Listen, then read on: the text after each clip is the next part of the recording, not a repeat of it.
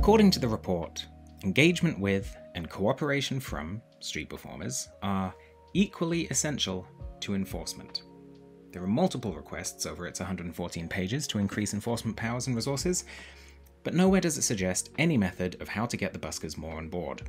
Well, an apology would be a good start. There's a chance that none of the errors highlighted so far were intentional. Still, people apologise for their own mistakes, conscious or not, it's part of British culture. So here's a short summary of the things so far that the Council could or should apologise for. Showing that complaints before the licence were lower than they actually were, muddying the stats to hide the fact that complaints have been below average for months, not giving the proper context for why complaints initially went up in 2021, stealing a quarter of a million pounds by illegally not paying the PRS licence, if indeed they haven't, at best straying over ethical boundaries by asking about union membership status, pretending the policy was self regulated, pretending the policy was light touch, ignoring that they criminalised most of the shows in Covent Garden. Actually, if we pause the apologies just for a second, I want to quickly note that since I made the earlier part of the video about the fact that the council criminalised the majority of the shows put on by members of the Covent Garden SPA, I had this back and forth with the council. Me. There are no visas that cover busking. Them. Actually, here's a link to where they can get confirmation of the right to work. I checked out that link and it says that the buskers need either a residence card or a visa. Me. But travelling buskers won't have a residence card or a visa, so that link doesn't work. So, has Westminster banned travelling street performers? Them. Yes, unfortunately, we cannot permit travelling visitors to perform as a busker. The Council's licensing regime began on April 5th, 2021. We had that conversation on September 15th, 2023, 893 days later. And I believe that this is the first time that the Council has ever written publicly that internationally travelling street performers are banned from busking in Westminster. In fact, it sounds like this might be the first time the Council realised that it has banned internationally travelling street performers. Let's just take a minute to read the first paragraph of the Council's December 2020 report. Located in the heart of central London, Westminster's streets are brought to life with performances by buskers who come from all over the world to perform here and play an important role in the vibrancy of our city. That's paragraph 1.1, page 1. I think that the council accidentally banned travelling buskers. Just straight up banned one of the best things about London's street scene by accident. I have asked the council whether this was an oversight or intentional, and hopefully they'll get back to me before I've reached the end of making this video. But in any case, this just adds weight to why the Covent Garden Street Performers Association suggested that buskers ignore the licensing regime. Which leads us back to our apology list. The council should also apologise for suggesting that buskers who didn't get a licence might be tax dodging criminals, ignoring the incredible success the Covent Garden SPA had at reducing noise complaints, using non relevant complaints as grounds to say that self regulation doesn't work on pitches managed by the SPAs, and publishing a single, one sided, exaggerated, and flawed impact report by a business that really doesn't know what it is that makes Leicester Square special. As for the four possible crimes that the council has committed, possibly lying in a legal opinion, possibly avoiding paying a music royalties license, possibly going against data protection laws, and possibly breaking union discrimination laws, perhaps instead of an apology, the police should just investigate and take it from there. They should also apologise for trying to eliminate the street performers associations. Back in 2020, the council set up a forum for discussions about the new licensing regime, it was described as a bridge between the busking community and our local residents and businesses in order to foster good relations and open communication and to promote partnership. Sounds good, but for some reason in 2023, now they're saying that business and residents associations should be excluded from the forum, as well as unlicensed buskers. It is believed, it says, that a new forum should be established which is specifically for licensed buskers. Instead of a bridge to a local community, the forum will now just be a communication channel between licensed buskers and the council's enforcement team. That may not sound like a direct attack on the street performers associations until you read the report's 15th recommendation that direct references to the two current SPAs should be removed from the policy, because the policy should only promote SPAs who represent licensed buskers. What happened to the Council's 2020 claim that they will continue to support established and newly created SPAs across the city who play a vital and important role in supporting engagement between performers and with the wider community to foster good relations with all users of the shared public space? And is the Council really saying that they'll only engage with street performers associations who mandate that 100% of their members get licenses? And if that wasn't enough, the report then recommends that the Council should consider listing recognised SPAs as well as their contact information on the Council's website. That's Machiavellian. The Council will no longer speak to the current street performer associations, they will no longer mention those two SPAs on its policy document, and if a future SPA wants to get such privileges, they can, but only if they agree to solely represent licensed street performers. But what about the Leicester Square SPA? The 2023 report states that their members were mostly licensed, expressed a willingness to collaborate, and the Council's own officers even suggested engaging with them. It also says that officers met with the LSSPA on several occasions during this review. They were very helpful in discussing the issues that they have had with the licensing scheme and policy, as well as considering the issues that businesses have faced in and around Leicester Square. Sounds like the council would agree to collaborate, just so long as the Leicester Square Street Performers Association makes a rule change that 100% of their members have to get a busking license. Great, so let's do a thought experiment. Let's say that the Leicester Square SPA makes that change. Any of their members and representatives who don't have a license promptly get one, and the council agrees to list them on the policy and resume conversations. What happens if, a year or two into the future, the council decides it doesn't like a representative of the SPA and cancels their busking license? Should that busker immediately be evicted from the SPA?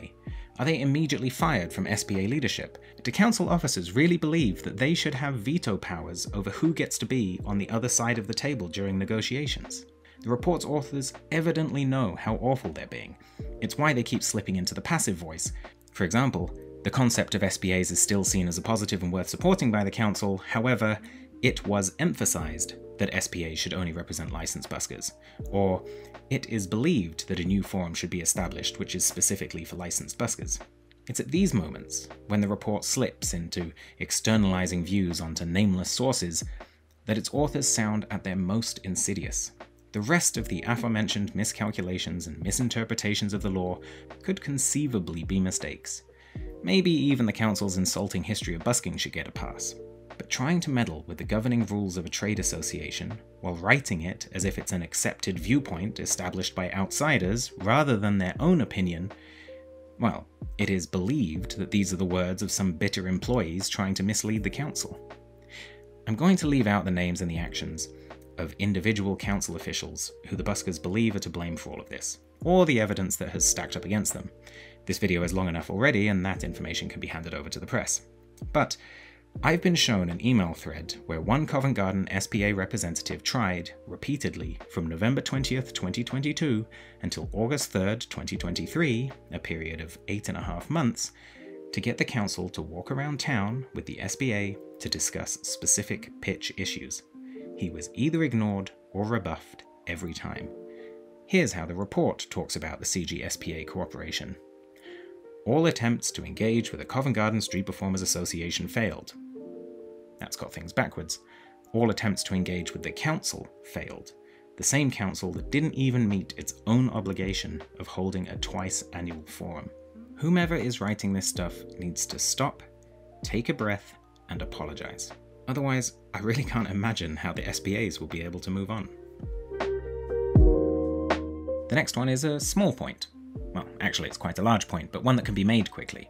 The council needs to apologise for not letting buskers know that they couldn't work. Westminster only has five amplified pitches. As we've already covered, many shows require amplification nowadays, and the Traffic Island and Marble Arch pitches were put in awful locations, which means there is a lot of competition for the remaining three.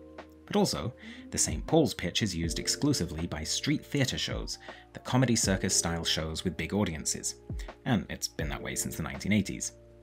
That leaves just Trafalgar Square and Leicester Square for amplified musicians, dancers, and so on to compete over.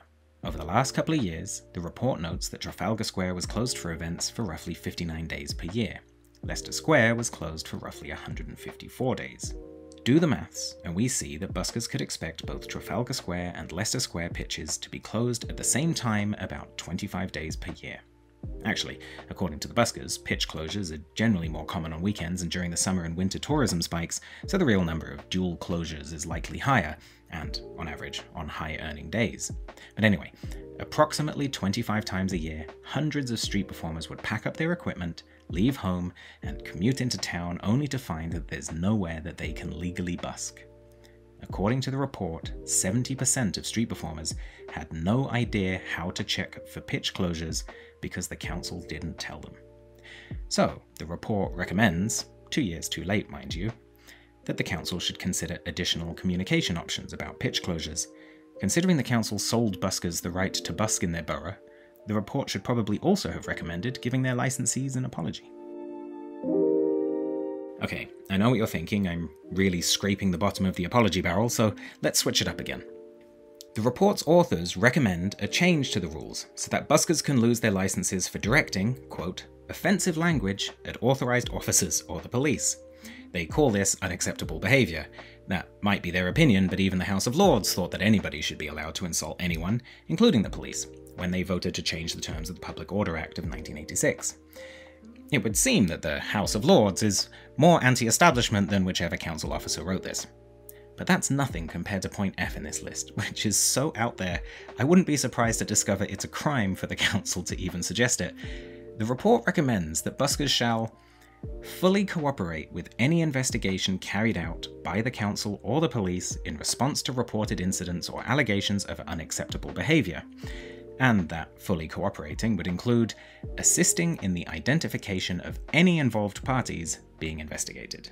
In plain English, lose your license or rat on your friends.